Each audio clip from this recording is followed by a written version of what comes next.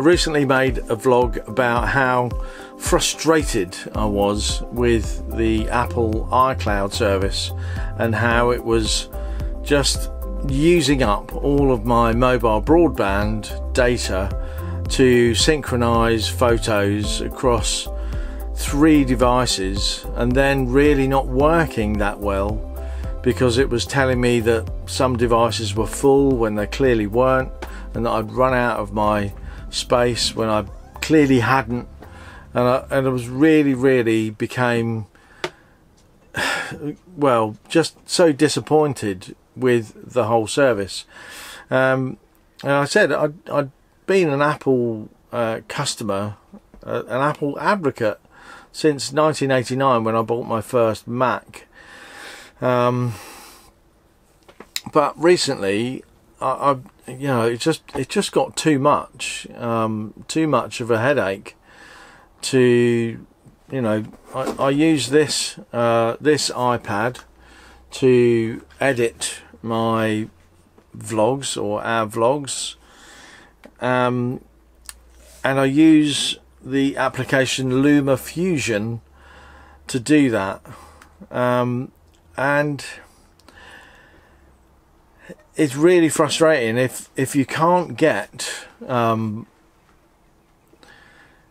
the footage from the camera onto the iPad because iCloud telling you it's full up because the the application photos which is on here uh, is connected to iCloud it, it just stops you editing and it stops you publishing videos unless you sort of go to another device use use something else or even revert to going to the iPhone to upload live videos or direct videos to YouTube um, which isn't where I wanted to be. So I was really happy when I found out about these these drives here the Western Digital um, My Passport Wireless Pro. Uh, it's a little, it's a little tiny drive. It's a hard drive. Um, it's not the solid state. It's not the SSD version. So it has a, you know, the usual hard drive spinning discs in there. But the good thing is that it is a four terabyte drive. Um, and one of the one of the things in discussion with Apple, I was uh, further disappointed because uh, you know on the Apple iCloud I've got 1.3, nearly 1.4 terabytes, so I've got like 600 gigabytes left before that service becomes full. And bearing in mind that probably in the next year that'll that'll fill up with all the data I'm producing and all the videos and photos that we take and store. And when I spoke to Apple, or the technicians at Apple, they said, well, there aren't many people in our customer base that need two terabytes.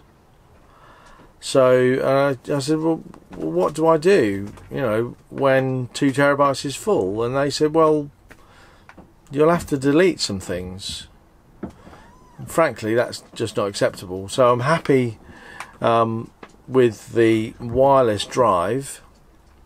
So as usual with technology, it doesn't always go as smoothly as you want it to. So it is a wireless drive. So it, it produces its own Wi-Fi network.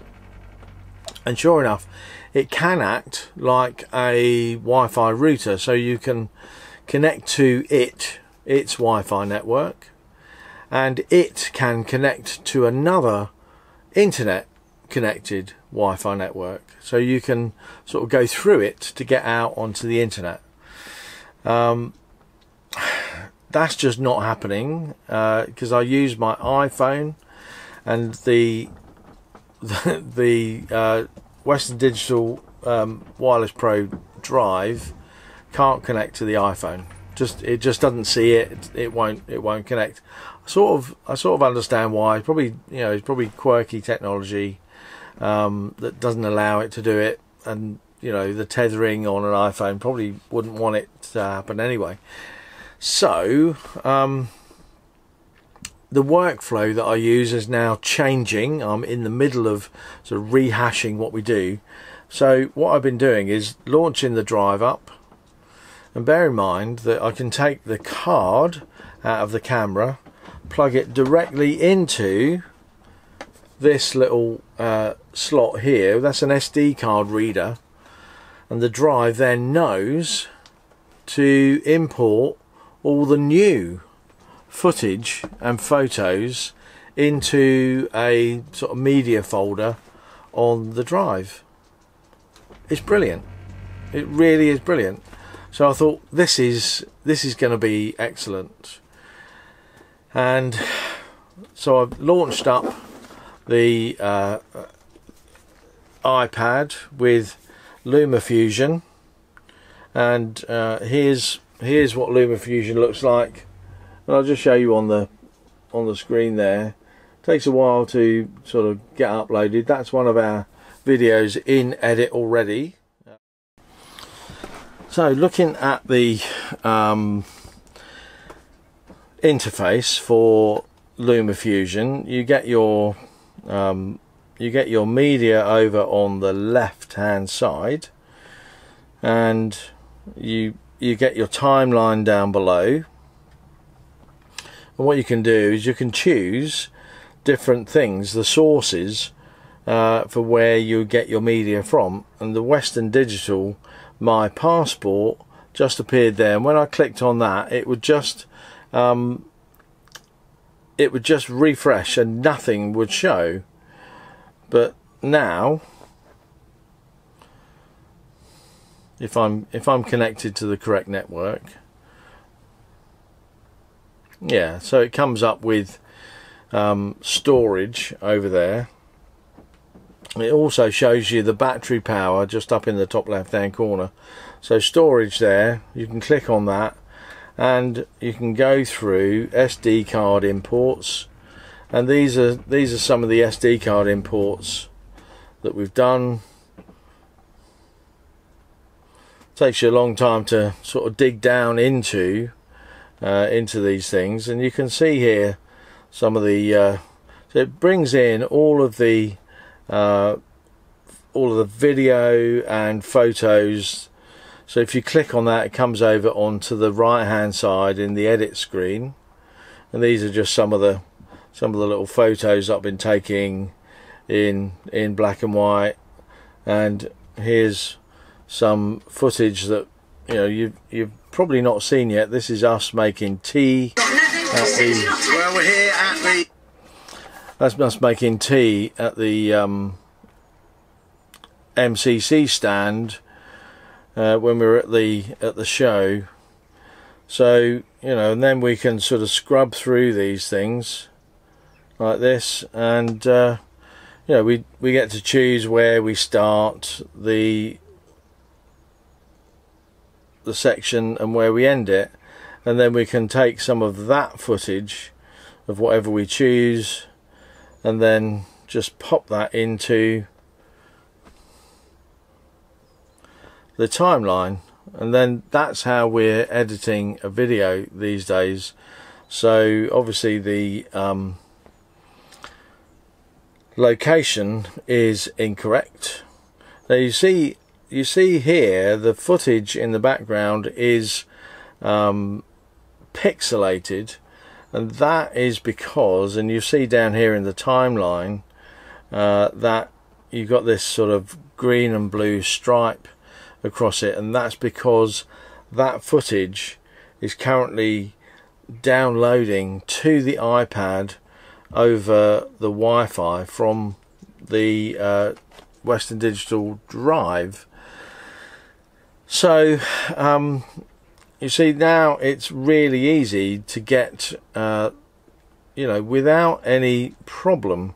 So that footage is now downloaded and that will play quite happily in there. Um, that's Wendy just serving up the tea. um, yeah, so um, and we can just choose any of the any of the uh, footage that we've got there and we can scroll back up to different uh, different sections go right back up to storage go back into my media and videos season 3 uh, raw footage which is where I, I do store some of that some of that raw footage in there. And I can you know choose choose some of that. This is from an older older thing that we've uh, spoken about our, our logbook and so on. So you see it's now made it really really easy to edit those videos that are now stored safely on the Western Digital Wireless Pro Drive and it really is that easy. And the trick um, the reason why it wasn't working before was really because of the um, if I can find it here. This my cloud app. Um, I didn't have this loaded so unless you have the my cloud my passport app loaded it doesn't show up in LumaFusion so you see all of this and I can you know um, get all of my um, various things that I'm working on. Uh, there's some of the projects um, some t-shirts and my my personal website and there's other things that we're that we're working on. Um, things you know all the you know, there's a little bit of music in there photos. So my intention is to store all my photos on here um, and then all the you know all the videos will will come into here so season 3 uh, episode 1 this is the intro to season 3 episode 2 so I've always got them there and I think um, over time bearing in mind that the uh, wireless pro drive was uh, just short of 200 pounds and that I'm paying uh, eight pounds a month for the two terabyte storage on iCloud that'll probably come down to um, a couple of quid uh, when I downgrade so that'll be uh, a much better thing. So um, the four terabytes is you know it's probably worth two years worth of iCloud uh, storage. So if I have to buy uh, an additional um, four terabytes every couple of years, I think it'll be well worth uh, the spend, especially as it's really really handy. It's battery powered you'll notice um, it is running. It's uh, it has a sort of battery power readout on here. Uh, so that's it's at 50% battery power. This shows the drive is running and the Wi-Fi is on. Um, and you can also I mean you can power it. That's the charging port. Um, and and you can connect it via that port as well to a laptop. So you can connect it um, directly. So that actually powers it as well. And there's a USB slot. And I think I'm not absolutely sure I think you can connect other USB drives to this or uh, USB thumb drives um, memory sticks and so on uh, which is a really handy thing. It also comes with a built-in uh, Plex media server. So you can load on to the Plex server um, media that you've downloaded from elsewhere whatever you've got if you've got a download service where you can download movies or TV shows or stuff like that you can pop it into the Plex server here and then you can watch it on your iPad or your laptop or your phone by connecting to the Plex server. It really is a stunning, uh, stunningly good device, and the network service on it is really, really fast. It is so it was so much quicker than the other um, wired hard drives I had available to me here that didn't allow me to connect through LumaFusion directly to them because you know the the the iPad it's brilliant with LumaFusion for editing. Uh, for me, there's no better way to edit your videos if you're a blogger or a vlogger um, than using LumaFusion on an iPad. just simply no better way. So simple to use, um, so powerful. Um, but you can't connect the iPad to sort of file systems as such um, without some you know really techie solutions going on and difficult to do. So having that Western Digital drive is an ideal solution. It really really set us up for the future um, of our video editing and the storage of all our footage. Now I know you know some people will be saying what about backup yeah what about backup I'm I'm untroubled at the moment about backup. If the drive failed, then yeah, I might lose all of that information, but it's not critical. Um, it's just there to have um, for the future, and you know, which you know, it sort of begs the question: Well, why why switch away from iCloud? Why not just start deleting stuff? Well, it's because iCloud became unreliable and iCloud was using up my my mobile broadband data and costing extra money. So not only did it cost me eight quid a month, it was costing me I don't know another 15, 20, 30, 50 quid a month on buying extra broadband. So I'm hoping that now we're keeping the network internal to the van and, and sharing data internally, not going over the internet we'll be able to cut down our costs and cut down the amount of bandwidth or, or data that we use going over the internet. An excellent solution. So if you're if you're wondering uh, about one of these, um, it does have the reason the reason I'm doing that all the time is because it has my uh, Wi-Fi network password written on the front so I, I just don't want to display that to the world. Um, so I'm just I'm just holding that there. It just is a sticker that says uh, network um, my passport, and it runs two uh, two networks: a 2.4 gigahertz network and a 5 gigahertz network. I've turned the 2.4 off and run the 5 gigahertz network because it is massively faster. Um, I think the 5 gigahertz runs at 10 times the speed of a 2 gigahertz. Don't quote me on that, but I, that's what I think it does. So it really does transfer files pretty quickly uh, across that Wi-Fi network internally. So there you are. That's how we edit videos, and that's what we're doing with our data storage these days, and getting over the problems with the Apple iCloud.